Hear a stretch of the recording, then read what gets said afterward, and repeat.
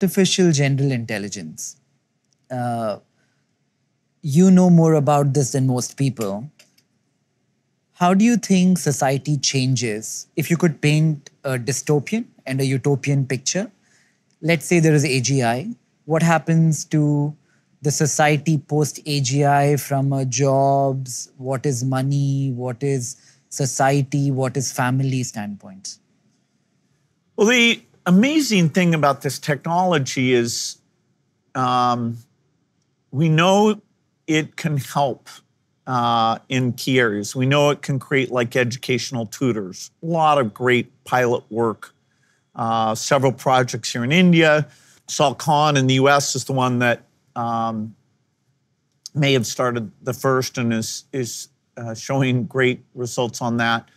So the potential is incredible. And if if we knew that all it did was make a lot of jobs, say, three times more productive, so doctors are three times more productive. So, you know, the demand for more people to see doctors and get good advice, that's probably good. For software, um, you know, we'll still need those software engineers. We'll, we may take some of the extra productivity for quality, some for quantity, but we're not going to, um, you know, start uh, not not needing software engineers.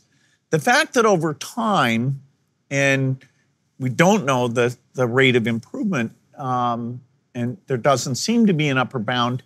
If it gets so that it's a complete replacement, that it can do all the medical advice or it can do all the coding, that's a world of excess where you know it's it's got to be wonderful in the sense that you know, handicapped people, old people, you're, you know, taking care of them. You're shortening the, the work week.